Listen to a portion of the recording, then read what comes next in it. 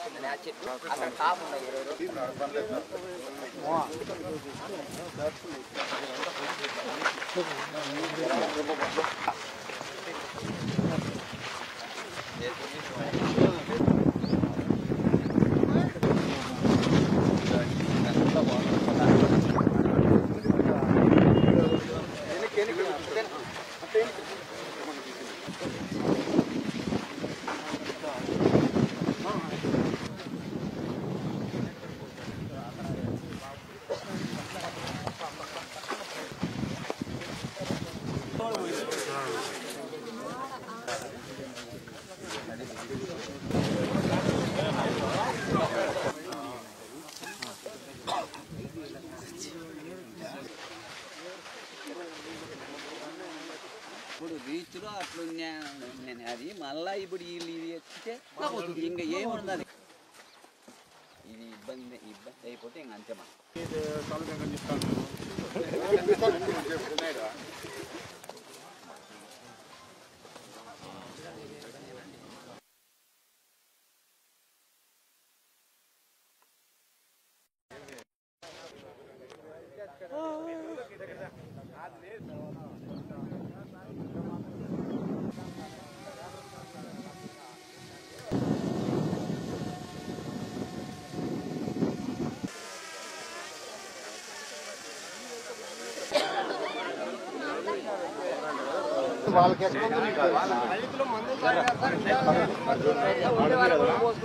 అది పర్మిషన్ అదే permission correct అది వారు బాగా చేస్తున్నారు కరెక్ట్గా. ఈ ఇదంతా ఇల్లీగల్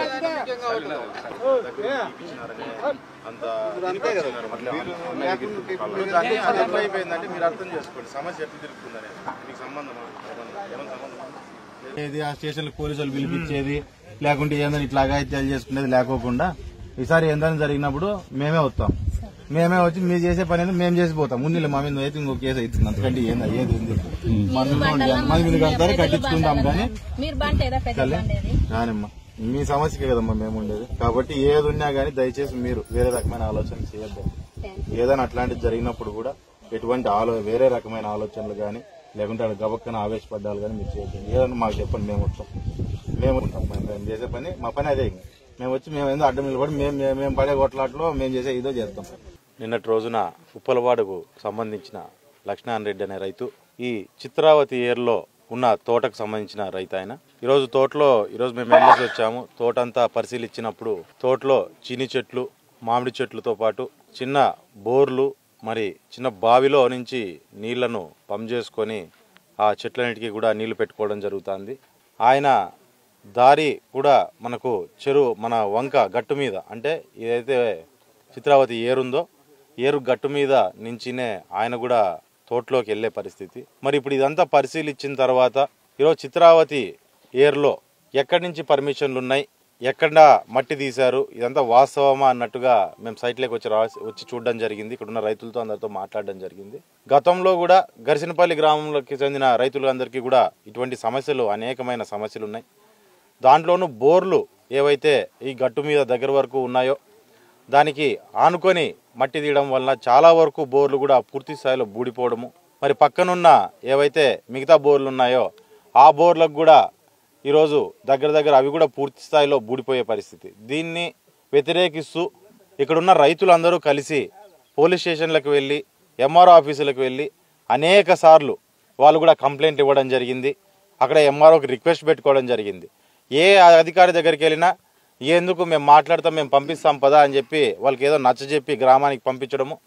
ఎవరైతే కంప్లైంట్ ఇచ్చేయకపోయారో వాళ్ళ మీద అదే ఇదొక కొత్త పద్ధతి లాగుంది కక్షపూరితంగా దగ్గరికి వెళ్ళిపోయి అదే రైతు బోర్ల దగ్గర కావచ్చు తోటల దగ్గర కావచ్చు ఈ ఇసుకను అదే పనిగా తోడము ఈ రకంగా చేసుకుంటూ వస్తున్నారు.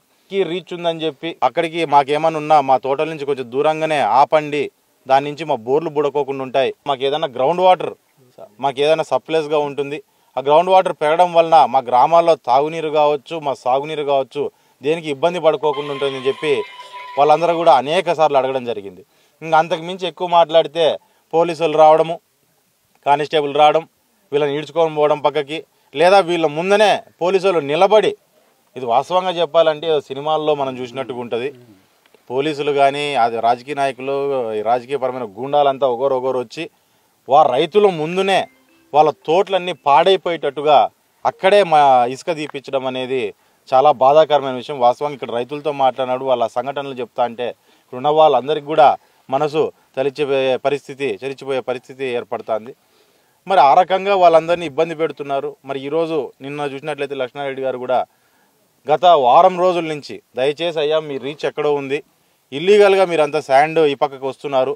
దయచేసి ఇటు రావద్దండి. మీకు ఏదైనా పర్మిషన్ ఉంటే అటు చూసుకోండి కానీ ఇటు వచ్చినారంటే ఇబ్బంది పడతాము. మేము మాకు చాలా ఇబ్బంది పడే పరిస్థితి ఉంటుంది మాకు అని చెప్పి వాళ్ళందరినీ వేడుకోవడం జరిగింది గత వారం రోజుల నుంచి.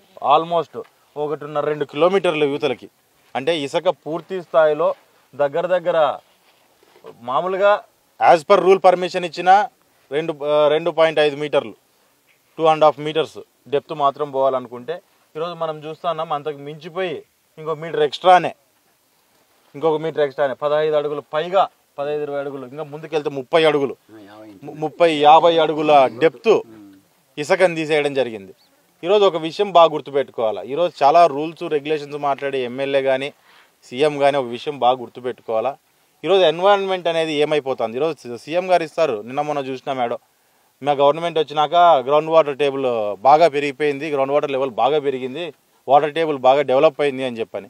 ఈ రకంగా ఇసుక తీసుకుంటూ పోతే యాట్ నుంచి గ్రౌండ్ వాటర్ లెవెల్ అనేది పెరుగుతుందో ఆయన నాకు ఆయనకు అర్థం కావట్లేదు. ఆయన ఏం మాట్లాడతాడు అనేది ఈరోజు ఇన్ని నీతి వాక్యాలు మాట్లాడి ఎమ్మెల్యేకి మళ్ళీ ఇది గుర్తు రావట్లేదేమో. యాడ ఊర్లో కాదు ఈడ కూడా వచ్చి రైతులతో పాటు రైతులకు అనుకూలంగా ఉండేదానికి గుడ్ మార్నింగ్ ఈడ ఏర్లో కూడా గుడ్ మార్నింగ్ వాకింగ్ చేస్తే బాగుంటుంది ఆయన. ఇల్లీగల్ ఏడదాకా వచ్చింది ఏడదాకా వచ్చింది అనేది.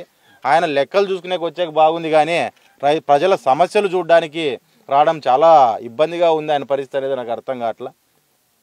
డబ్బులు వస్తాయంటే కనీసం నువ్వు వీడికి వచ్చి చూస్తే నీకు వచ్చే డబ్బులు కూడా ఎంత లెక్క వస్తుందో తెలుస్తుందేమో ఎమ్మెల్యే గారు. కాబట్టి దయచేసి వచ్చి చిత్రావతి ఏర్లో గుడ్ మార్నింగ్ చేయండి. గుడ్ మార్నింగ్ వాకింగ్ ఈడ చేయండి. ఇక్కడ ఉన్న ప్రజలు ఎంత ఇబ్బంది పడుతున్నారో వాళ్ళ బాధలు చెప్తారు.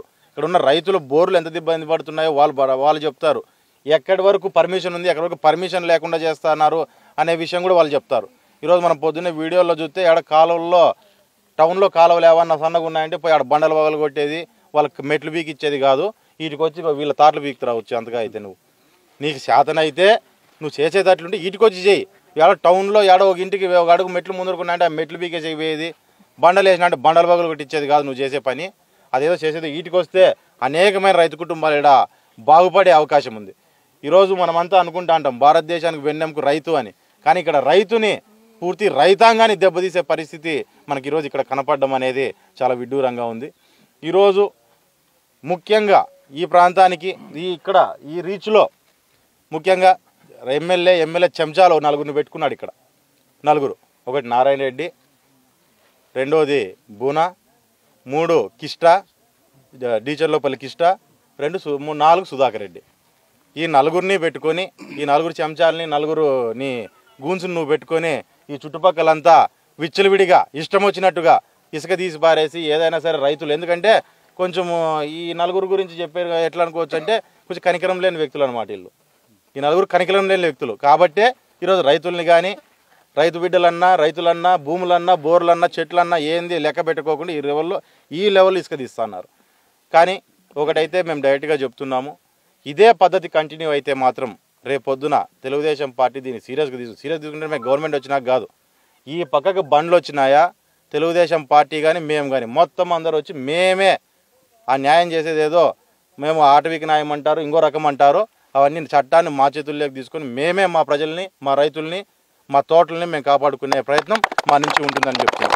ఈ పద్ధతి అనేది దయచేసి ప్రజల్ని ఇబ్బంది పెట్టే పద్ధతి దయచేసి దూరం చేసుకోండి. ఆ పద్ధతులు మానుకోండి. నువ్వు సంపాదించాలనుకుంటే ఆల్రెడీ టౌన్ దోచినావు ఇంక ఏరును దోస్తాను ఇంకా సరిపోదనక ఈ రైతుల కుటుంబాల్ని మాత్రం దోచే ప్రయత్నం చేయొద్దని చెప్పి ఎమ్మెల్యే గారికి కూడా హితవు పలకడం జరుగుతుంది. ఇవన్నీ ఈరోజు ఇక్కడ జరిగింది. ఈరోజు ఇక్కడ ఇక్కడ ఏదైతే జరిగిందో దీని మీద కూడా సీఎం గారు చాలా చాలా విషయాలకి రియాక్ట్ అవుతూ అంటారు. ఈరోజు ఇక్కడ జరిగిన సంఘటన మీద కూడా ఆయన రియాక్ట్ అవ్వాలా? ఆయన రియాక్ట్ అయ్యి మాట్లాడి ప్రజల పట్ల రైతుల పట్ల ఆయనకు చిత్తశుద్ధి ఏముందో కూడా సీఎం గారు కూడా నిరూపించుకోవాల్సిన అవసరం ఉంది. ఈ సంఘటన జరిగిన తర్వాత అని చెప్పి కూడా ఆయనకు కూడా హెచ్చరించడం జరుగుతుంది. మరి ఇక్కడ మనము ఇక్కడ తీసే మట్టిని కూడా ఈరోజు వాస్తవంగా చెప్పాలంటే ఈరోజు దగ్గర దగ్గర నాలుగు లక్షల యాభై వేల నాలుగు లక్షల యాభై వేల టన్నులకి ఇక్కడ పర్మిషన్ ఉందని చెప్తున్నారు. వాస్తవంగా చెప్పాలంటే నాలుగు లక్షల యాభై వేల టన్నుల కెపాసిటీ ఉన్న చిత్రావతి ఏరు ఎప్పుడూ అయిపోయింది ఈరోజు మనము బయటికి పోయి ఒకసారి చూస్తే హైవేలో కనపడుతున్నాయి మనకు. హైవేలో డంప్ యార్డులు పెట్టినారు.